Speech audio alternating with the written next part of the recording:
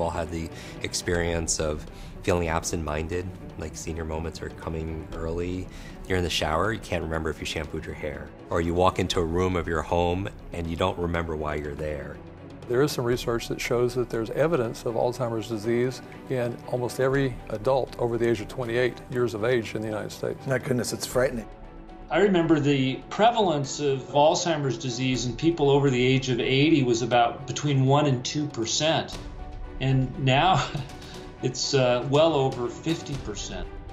It's sort of like a slow moving freight train. Everybody kind of knew it was coming. A doctor confirms it, and then when that happens, there is not a lot to be done, save a few conventional pharmaceuticals in a neurologist's office, which sadly don't work terribly well.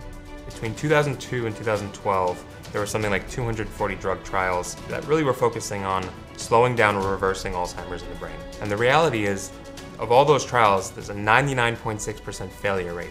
I mean, we have a tragic disease here that conventional medicine just doesn't have a whole lot to offer.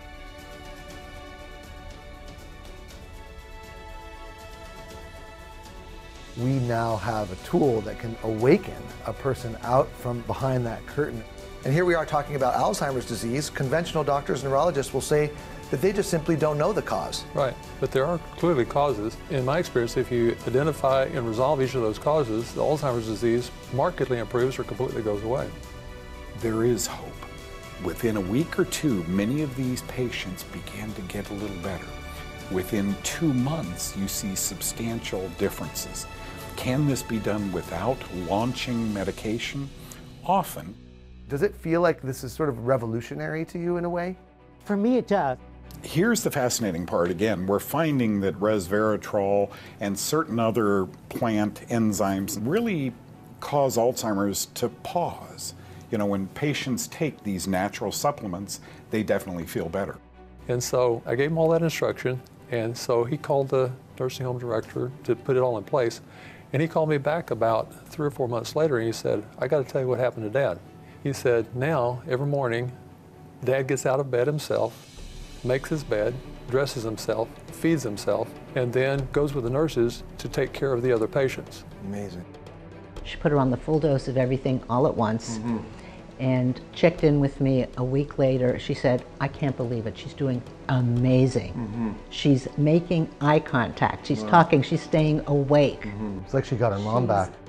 Wherever anyone is in their life right now, if they're going through those challenges or they're caring for somebody, there's real hope and real help. My message to everybody who's watching this right now is you have more power than you think regardless of your age, your background, your career, your education level, your financial situation, your gender, your personal history, your IQ. It matters to a point, and we also have more influence than we think. Hi, I'm Dr. Josh Levitt. Join me on June 2nd for this free, once in a lifetime event as I bring together 12 of today's leading doctors and neuroscientists to share their life changing methods and solutions for Alzheimer's and dementia. Space is extremely limited, so be sure to RSVP now.